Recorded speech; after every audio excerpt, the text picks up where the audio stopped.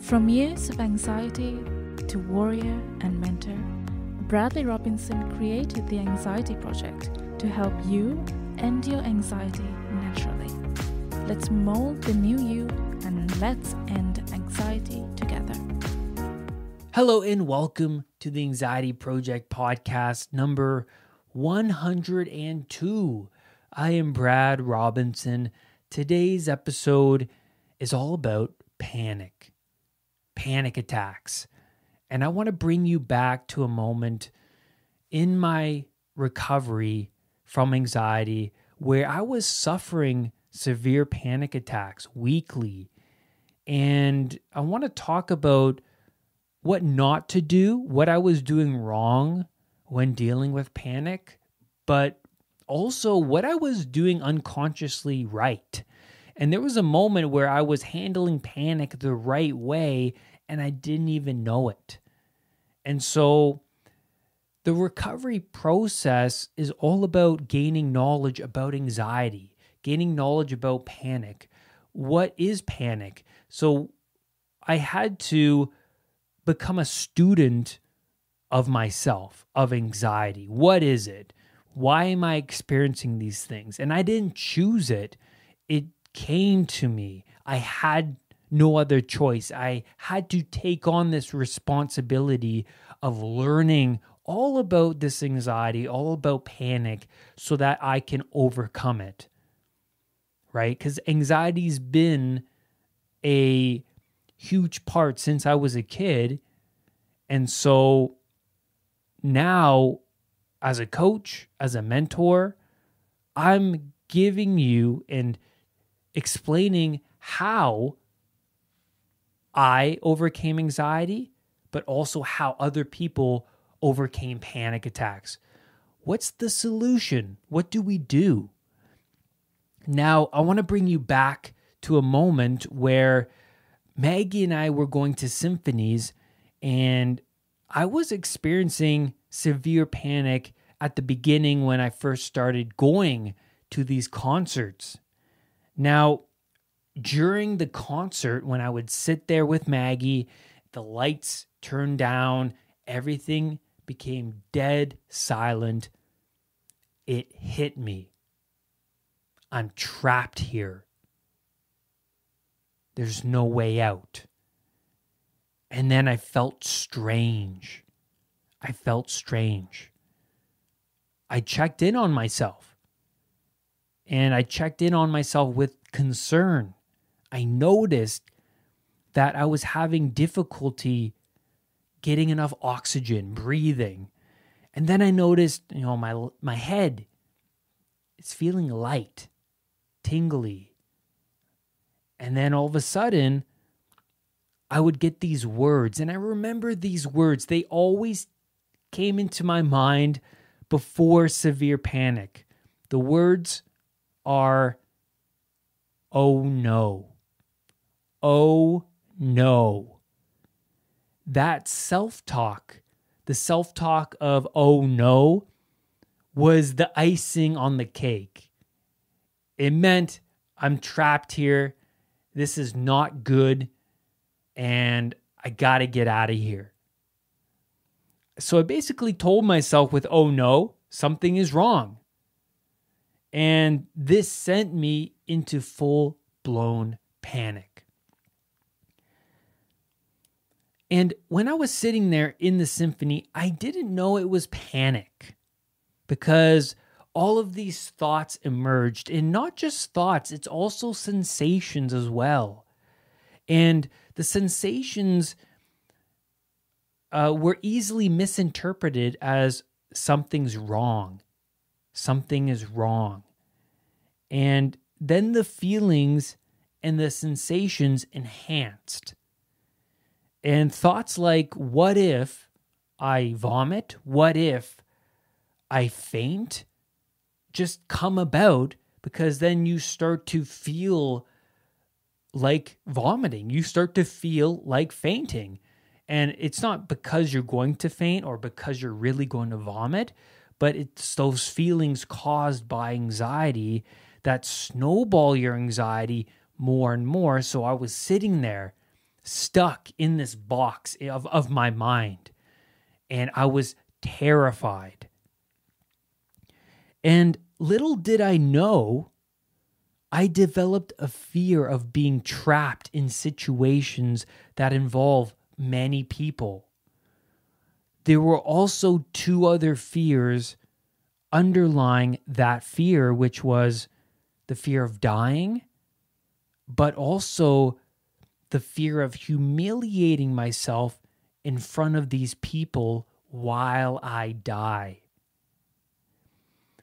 The fear of humiliating myself and causing a scene was so great in that moment while I was sitting in that concert that I decided to stay there. And I avoided and I shut down the idea of getting up and leaving because I was sitting with Maggie. I was watching the concert, but not, not really watching. I was so internal. Um, and so I shut the idea of getting up and leaving because I really wanted to leave. But I had such a great fear of getting up and then humiliating myself by getting up because no one else was getting up. Everyone was there, was packed, right? And I didn't want to make a scene. I didn't want to cause any attention towards myself, but I was also fearful of fainting on the way out as well. So there was this situation where I really felt trapped in my own mind. So I had no idea while I was sitting there, remaining in my seat, I had no idea that I was engaging in a powerful strategy. I was rewiring neuronal pathways in my brain while I remained seated. I was showing my fear response that there is no real danger and that I can survive. The technique is called flooding.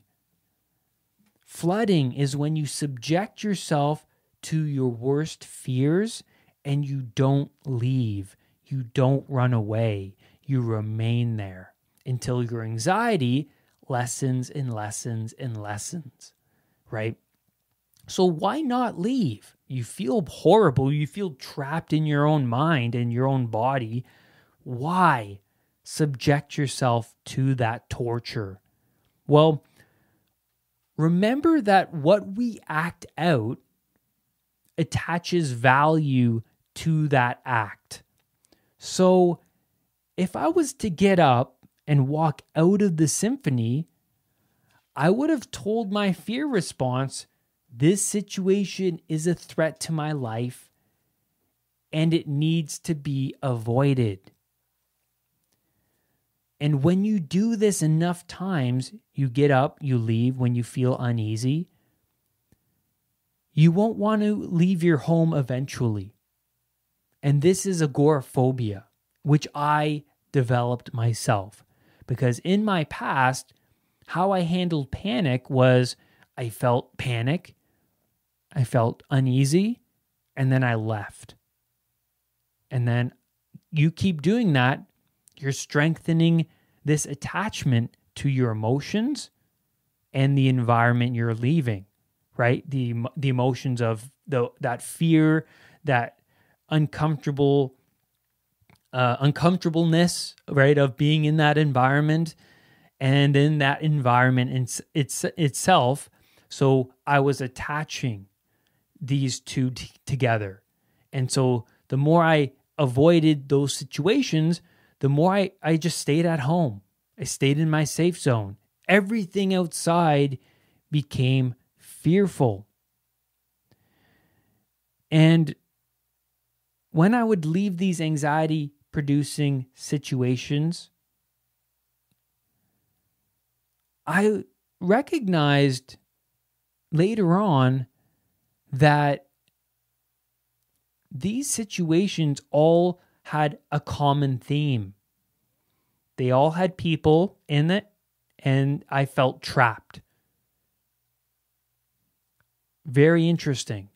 I remember the art gallery incident where I was in an art gallery with Maggie bunch of people downtown feeling trapped, feeling the anxiety sensations.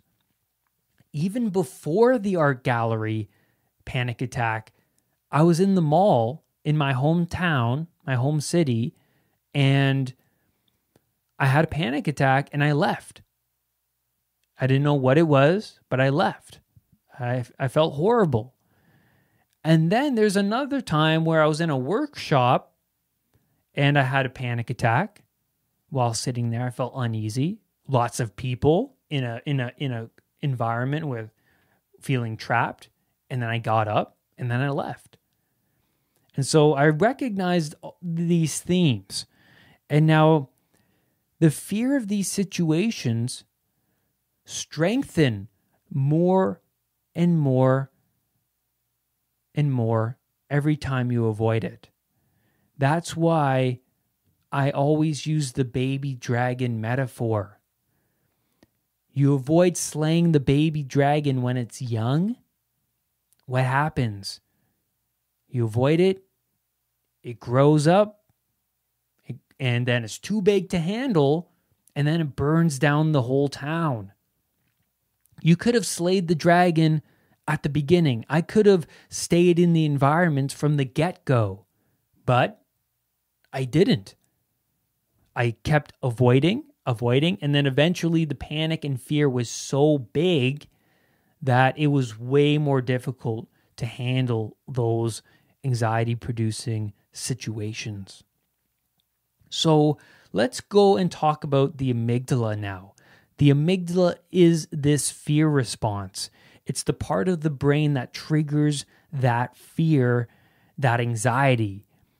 The amazing thing is, we can unlearn the fears that hold us back. We can unlearn them. That's amazing because our brains are plastic that we we can rewire their their neuronal pathways within our brains. So by remaining in my chair at that symphony, I was slowly unlearning those fears that popped up. The message you want to send to the amygdala is that you won't die in this situation all those times running out of the mall, the art gallery, school, even work, I was unconsciously sending the message to my amygdala. These situations are uncomfortable and they need to be avoided. In other words, this is a threat to my life. Let's not go back there. Very powerful.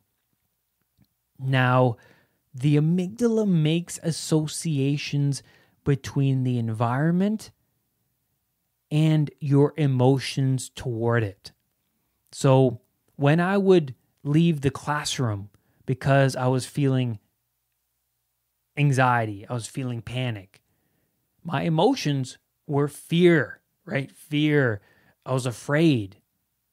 And so the amygdala then attaches that environment to those emotions. So, whenever I was in an, an environment like the classroom, those same emotions would come up. The fear res- response would activate. So, the classroom is a situation where there's a lot of people, you feel trapped, and then the mall is not a classroom, but it resembles the same kind of situation. The mall, there's lots of people, you feel trapped. Or the concert, the symphony where I was, not a classroom, but same kind of situation. Lots of people feeling trapped. The same fears come up. And so that's really interesting. And what's really interesting is when you when you tackle one of these fears, one of these situations that make you anxious, you tackle all the situations. So you just find one scenario, one environment that makes you feel anxious and tackle that one environment. Don't go out if you want to, you can, but don't go out and and and tackle many different ones. Find just one place, one scenario that makes you feel anxious and go tackle it.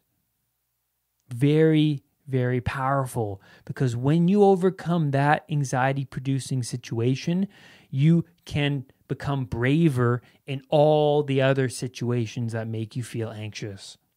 Really powerful. So I kept going back to the symphony.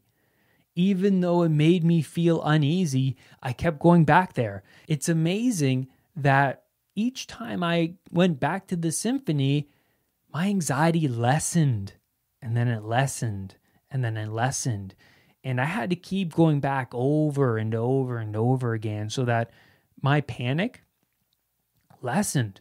I was showing the amygdala that i am not going to die here. I can survive.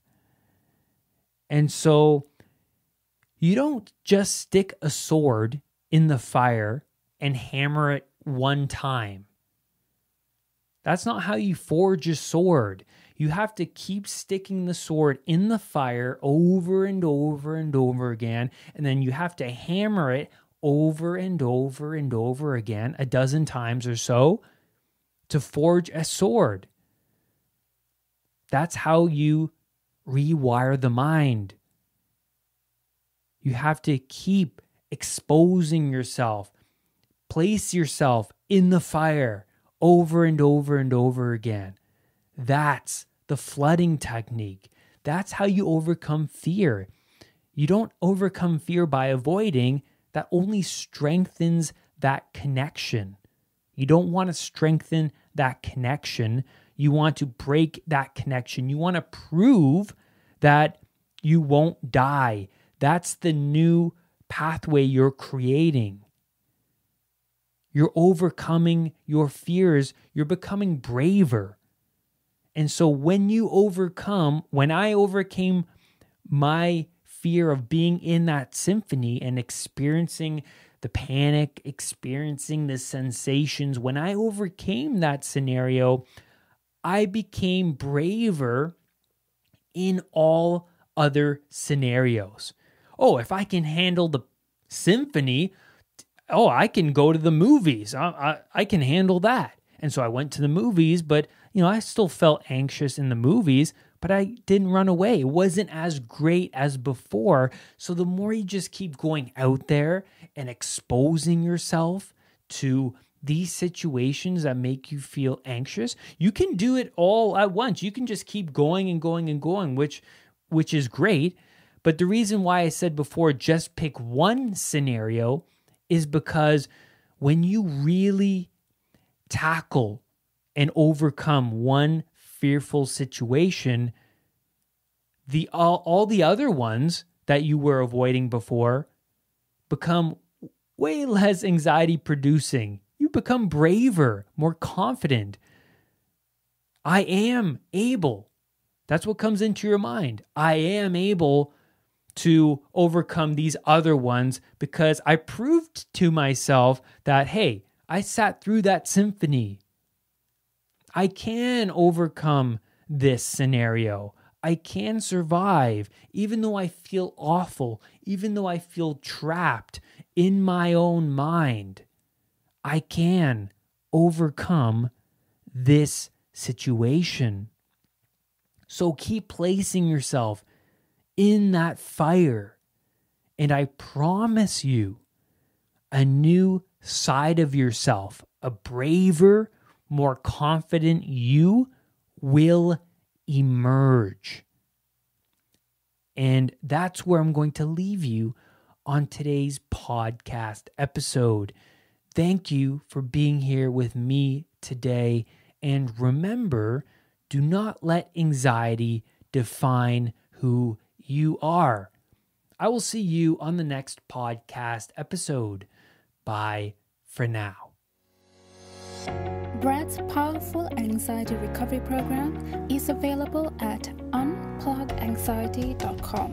The Anxiety Project program is downloadable and puts the power of anxiety recovery in your own hands. What are you waiting for? Visit unpluganxiety.com for more details. Recovery starts now.